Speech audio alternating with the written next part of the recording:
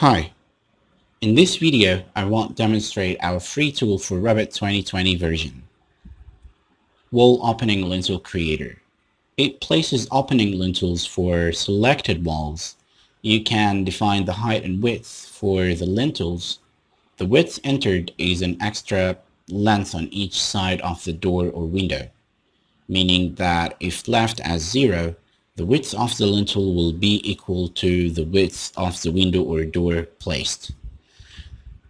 This is a free app which you can download from our website.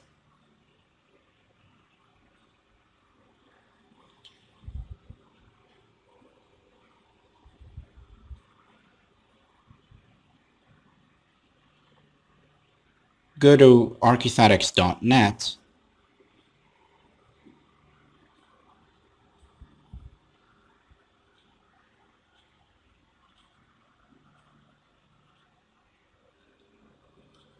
apps page.